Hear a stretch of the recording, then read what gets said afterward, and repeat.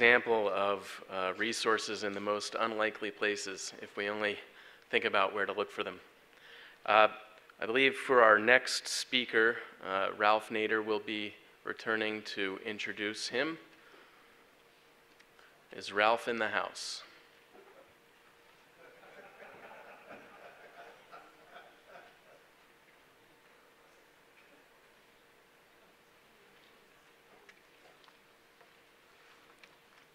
All right, everybody. Well, make yourselves comfortable. He'll be back.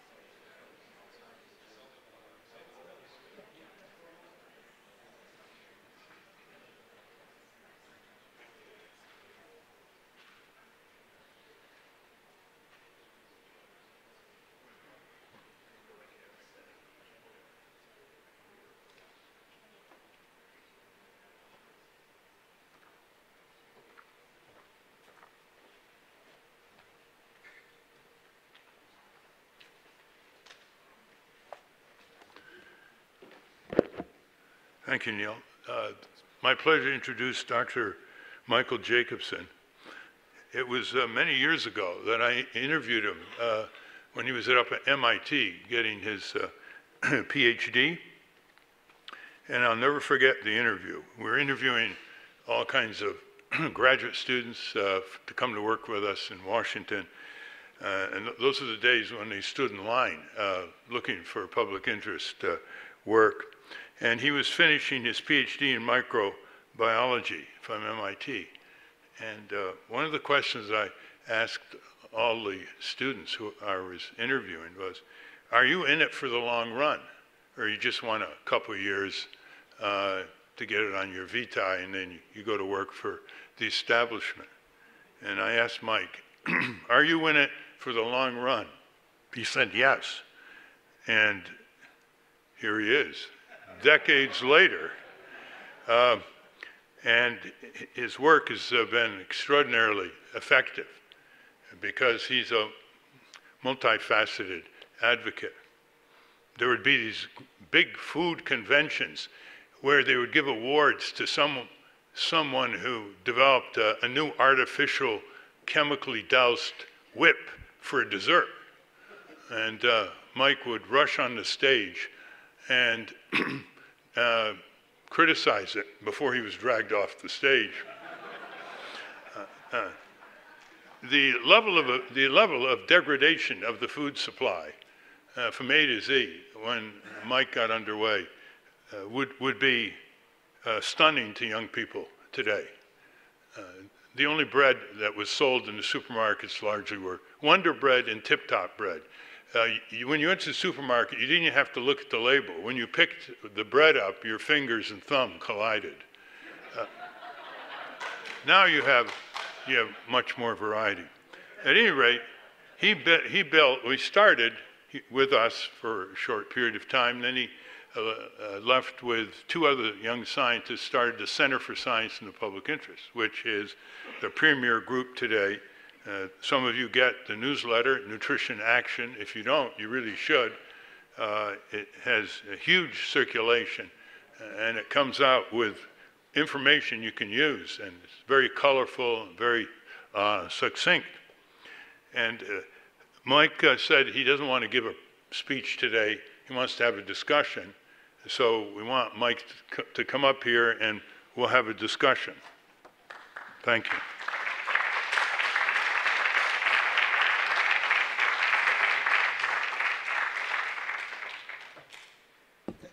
You know, Ralph, that um, your little introduction reminded me of uh, going up on the stage. That was um, we gave the annual Bon Vivant Vichyssoise Memorial Award to the biggest junk food producer of the year. And you remember, I don't know how many of you remember Bon Vivant Vichyssoise soup. It killed people because it was contaminated with botulism. So we thought it was, uh, that should be uh, memorialized. And the award was a beat-up old garbage can that we would bring with us to the annual convention of the Institute of Food Technologists, who is a membership group that devised Cool Whip and, and Jello and all kinds of other uh, crap that lines, line, lined and lined supermarket shelves to try to give a little attention to the issue. See, he's, he's a genius at uh, informing the media with irresistible uh, displays and demonstrations.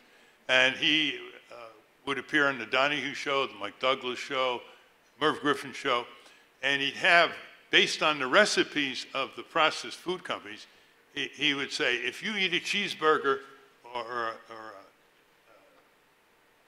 a hamburger, here's how much fat slithers down your throat. And so he would hold it up. I actually did this once too. He would hold it up. It was like this. I mean, it was, people would go like this. To this day, I meet people on airplanes that say, I saw you on, uh, you know, Mike Douglas. What do you remember? I, that stuff. From hot dogs and, and so on. But I think that, you know, and Joan was alluding to it also, of try to dramatize the issues with something concrete, something people can relate to.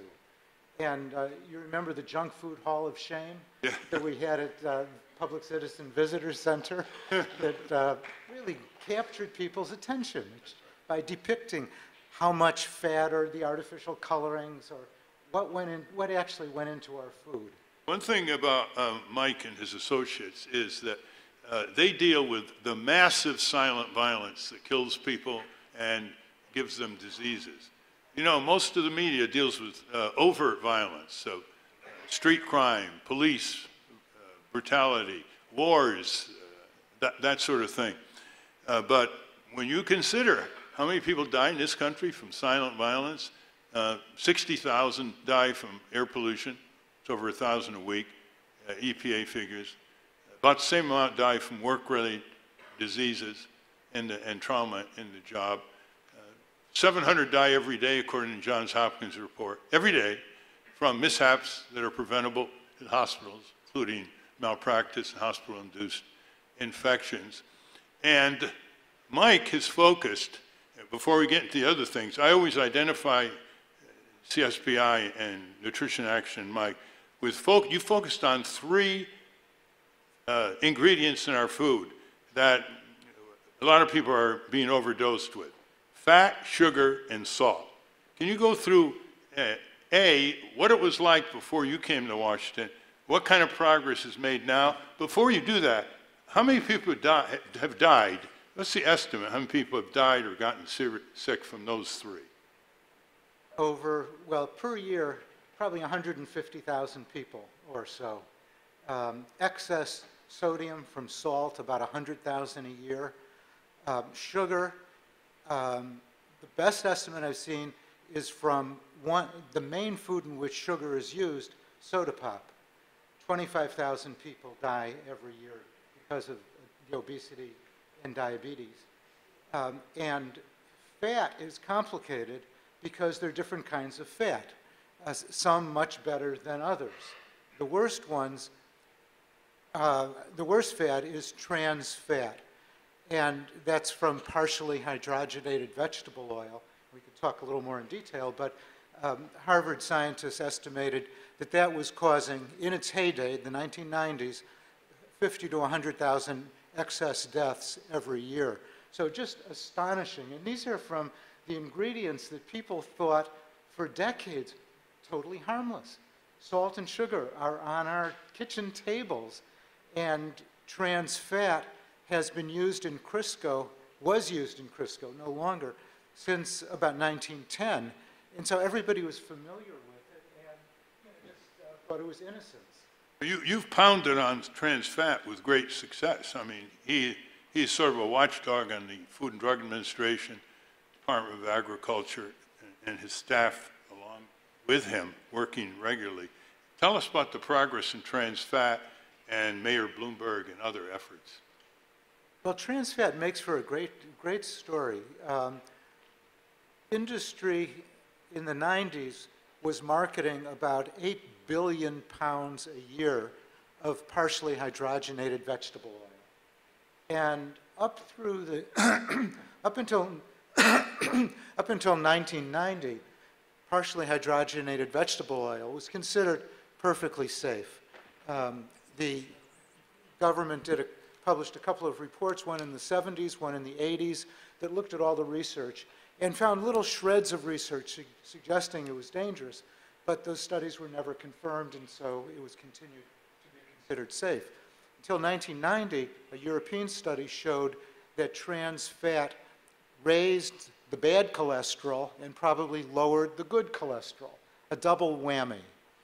And that was confirmed three years later by a Department of Agriculture study that really was a, a key study um, and shows the value of independent government-funded research. And so in 1993, we petitioned the FDA to require labeling of trans fat.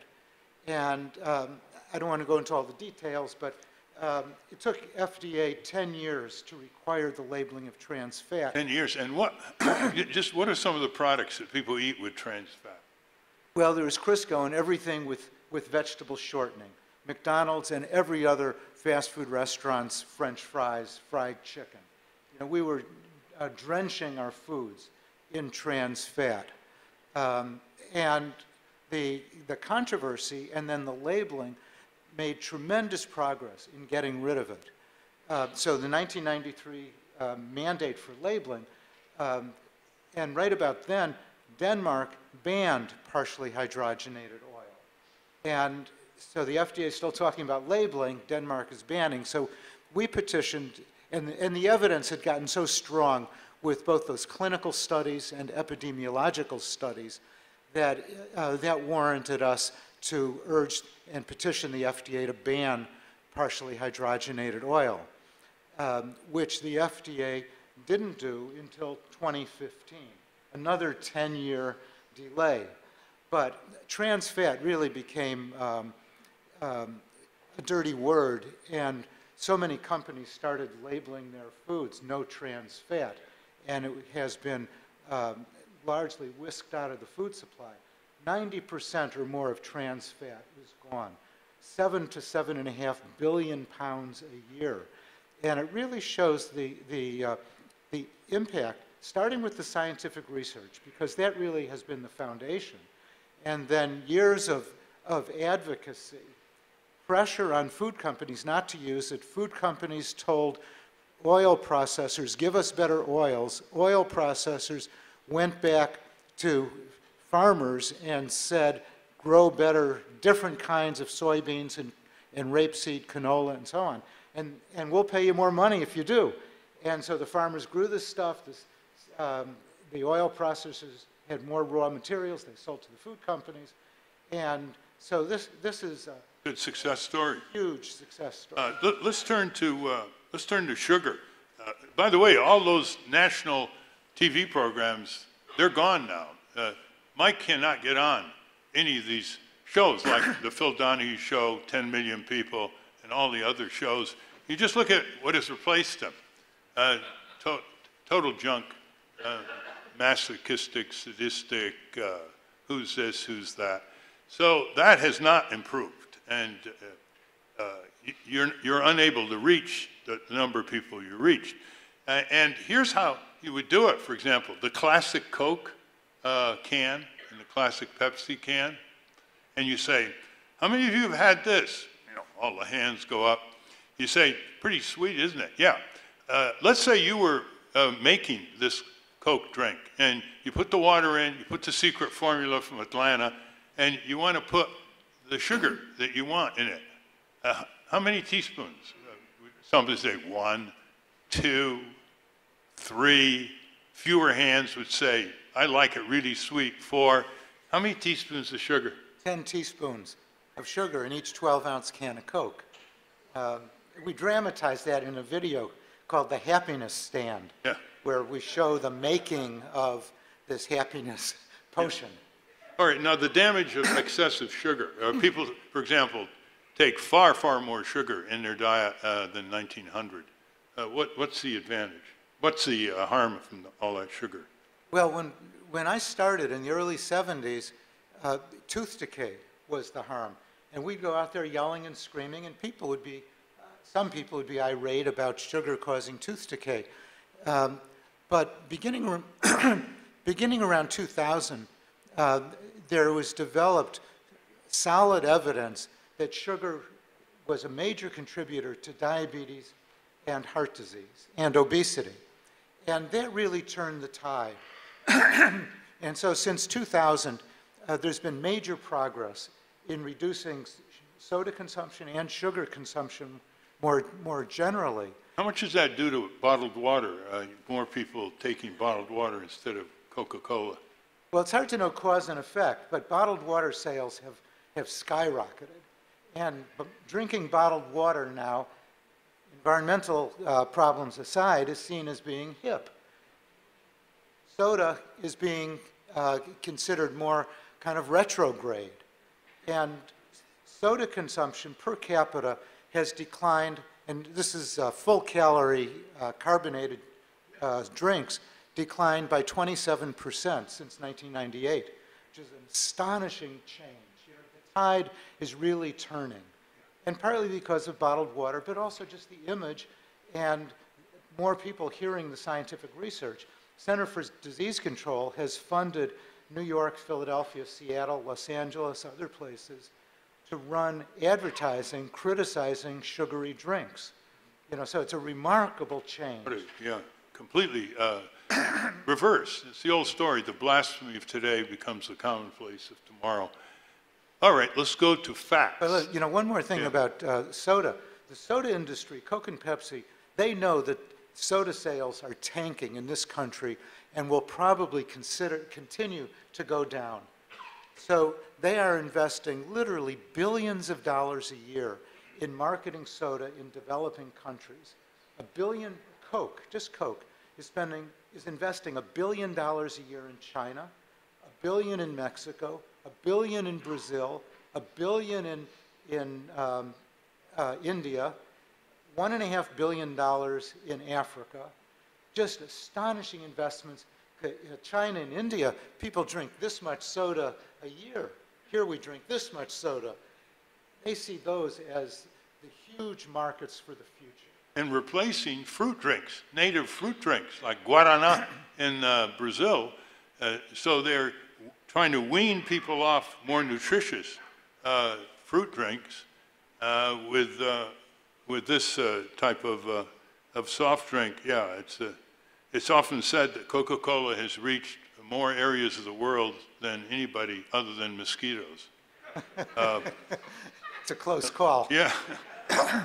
Let, us talk about salt now. Uh, we had a meeting with the Secretary of Agriculture, Mike and I and some others, and uh, I think uh, Mike sort of startled the Secretary of Agriculture, Vilsack, when he talked about salt. And why did they put so much salt in the food when you don't even think it's in there?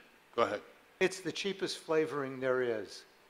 So um, we're consuming, so there's been evidence about the harmfulness of, of too much sodium for 75 years or so.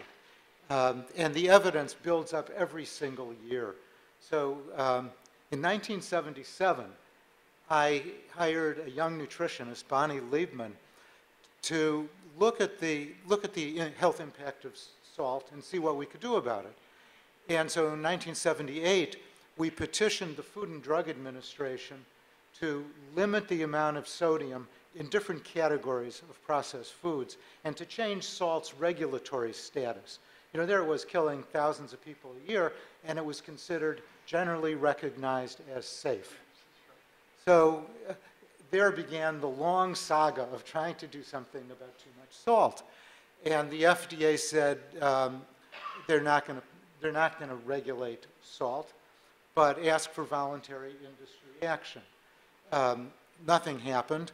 Um, we got sodium labeled on food packages in 1990, uh, got a good, the nutrition facts label. And then we went back in the early 2000s to see what had happened to sodium consumption since the labeling law was passed and since our original petition. Nothing had changed, despite all kinds of admonitions to, to industry to lower sodium levels. Um, So we petitioned the FDA again, and we got the Institute of Medicine to do a report on what should be done about sodium, excess sodium, not whether or not it's harmful. That had been settled, but what should be done. And the Institute of Medicine uh, basically endorsed that 1978 petition, saying the FDA should limit sodium levels in cheeses and breads and different levels for these different categories of food. The FDA immediately said it wouldn't limit the levels, but it might set voluntary targets. So it took another six years. Early, um, uh, earlier this year, the, um, well, uh, the F, for five years, the FDA didn't do anything. We sued the FDA for inaction. Public Citizen represented us, and that got the FDA to get off the dime and propose voluntary targets. So uh, if we're lucky, those voluntary targets will be adopted as final voluntary targets with two-year and 10-year um, goals. Would, the 10-year goals would bring sodium down to safe levels. Mike, I, I wanted to ask you, you've been pretty critical of the Food and Drug Administration and U.S. Department of Agriculture. Before we get to how you've educated tens of millions of people and how difficult or beneficial that was, what's your brief view of their regulatory protection of consumers now? Well, it starts with the laws, and the laws are not bad. But if you get a law passed, then you have to fund the program. And conservative Congresses starve the programs. So the food labeling, the food safety laws um, are reasonably good. They could be, they could be enforced with great vigor, going back to the 1958 Additives Amendment. Um, But the FDA doesn't have the staff and it doesn't have the guts to enforce the laws with vigor, to regulate salt or sugar, or um, we've asked for warning labels on soda pop soda pop causes heart disease and diabetes and obesity. Um, But, you know, um, FDA is in, is in a bit of a pickle because if it does anything brave, Congress would crack down and through appropriations riders, stop it from taking one action or another. Um, And the, they just don't have the staff to do many of these things. So the FDA inspects, you know, with the Meat Inspection Acts, the F, the USDA inspects a chicken soup plant factory every single day of the year, even though it's, it's sterilized, the soup is sterilized, it's not going to harm anybody. A food processing facility that does not have meat or poultry, like a um, vegetable soup factory, gets visited every five or 10 years. So the FDA just doesn't have the resources. And it- it's very important to ensure that agencies, not ensure, desperately try to get the agencies sufficient funding to actually enforce the laws. Have you, have you uh, uh, expressed your view on uh, efforts by the meat and poultry industry to have private, privatized inspections? to Sort of self-regulate themselves instead of having uh, daily or frequent uh, U.S. Department of Agriculture meat and poultry Inspection. Well, most of those daily, or the, it's really continuous inspections of the slaughtering and processing of the animals. And those uh, where it's, um, and the inspectors checking to see, look at every carcass, that's almost worthless. What they can find are obvious defects, you know, a serious bruise or a tumor, that are more quality than safety, things that the food processors should monitor on their own. Tyson doesn't want to have market chickens with big bruises on them. So uh, they should be responsible for that. Those inspectors that are scrutinizing a chicken, they get one or two seconds to look at each chicken. That's how fast the assembly line They're is. whizzing by, you know, they can't, Yeah. and they're looking for bacteria. You're not going to find bacteria looking at a chicken carcass. You need stronger systems, and that's how the, the, um, the, the laws are moving, um, where the, the, um, companies will look at the, the, uh, the bruises and tumors, and government inspectors will monitor for the, the systems that should be in place to make, to keep the products uncontaminated. You think the penalties are strong enough, though? Violations? Well, they could be if, if they're brought about. So the uh, Peanut Corporation of America, which killed many people, um, poisoned uh, thousands of people with contaminated peanuts, uh, the um, chief executives got thrown in jail. But as Russell Mokhiber has indicated uh, earlier, those kinds of um, uh, penalties are rarely uh, invoked. Mike, some people in the consumer area think you're not tough enough on certain issues. So let me throw some on, on the table. Uh, A lot of consumer groups are upset with GMO crops, genetically modified uh, crops. They say that the argument for it is based in secret corporate science, not peer-reviewed, completely opposite the way you've operated, Monsanto, for example. And that there's no evidence uh, that it increases uh, crop uh, volume uh, around the world, and that uh, it migrates and affects other neighboring farms and contaminates other neighboring farms. And it just produces its own backlash with uh, the so-called killer weeds um, mutating, uh, resisting uh, Monsanto's seeds, so Monsanto has to up the ante on those. What do you think of all that? Wh- Where are you on GMO foods? Genetic engineering is a powerful technology. It's kind of like electricity.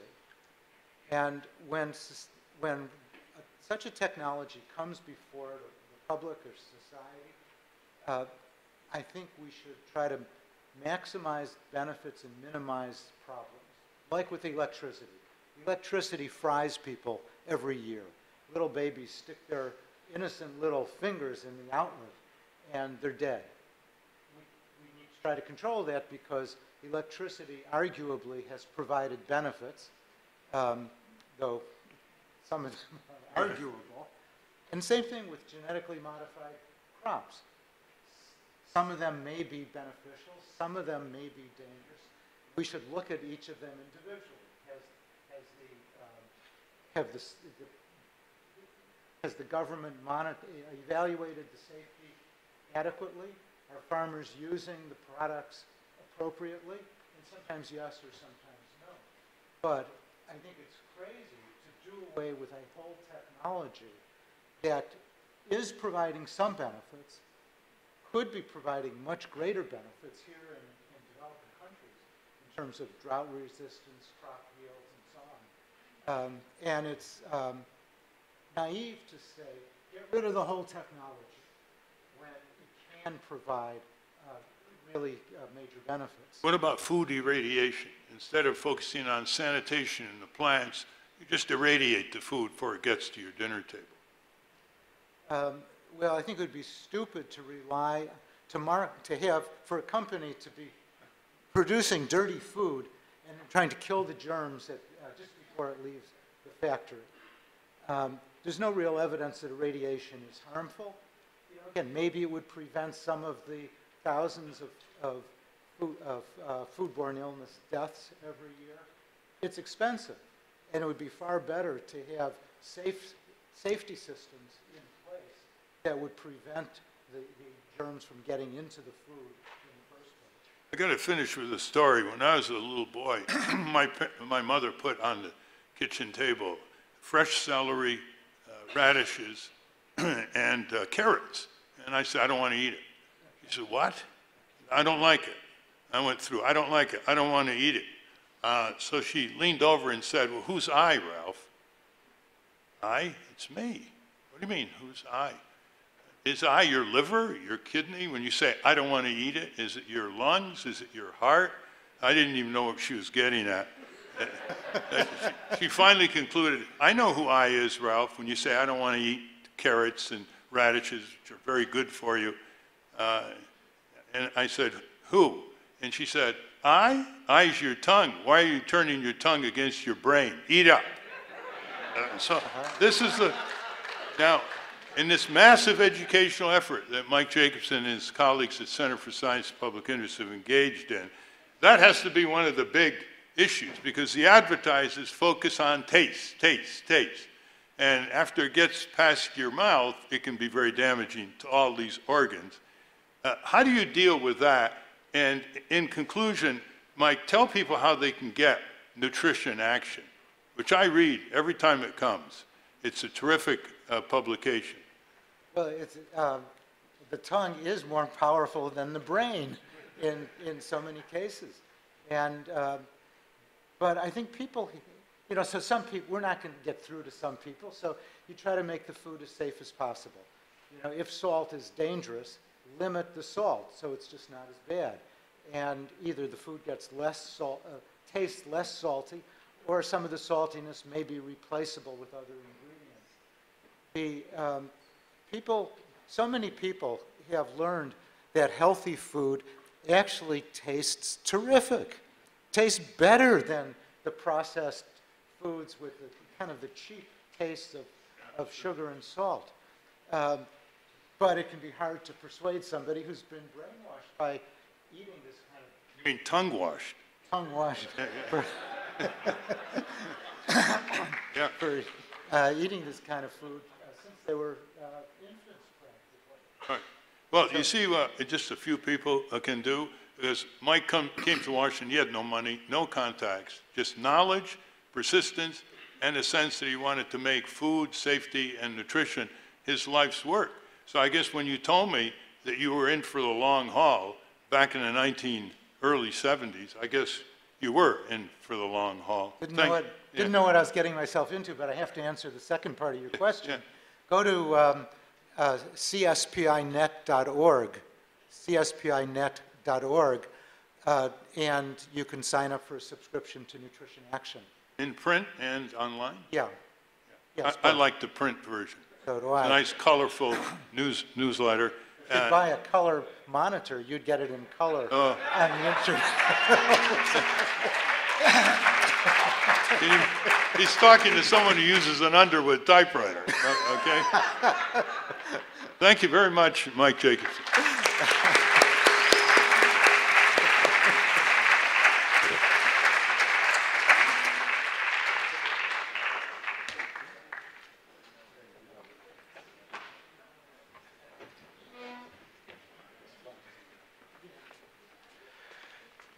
Uh, Thank you, Ralph and Mike Jacobson. Our next speaker will be uh, talking about empowering consumers, a subject near and dear to my heart. Um, He is, uh, he teaches, he's a professor of law at Georgetown University uh, Law Center, where he teaches federal court, civil procedure, administrative law, and seminars in First Amendment litigation. He also co-directs Georgetown's Institute for Public Representation, which is a clinical law program there. Formerly, he was the director of the Federal Trade Commission's Bureau of Consumer Protection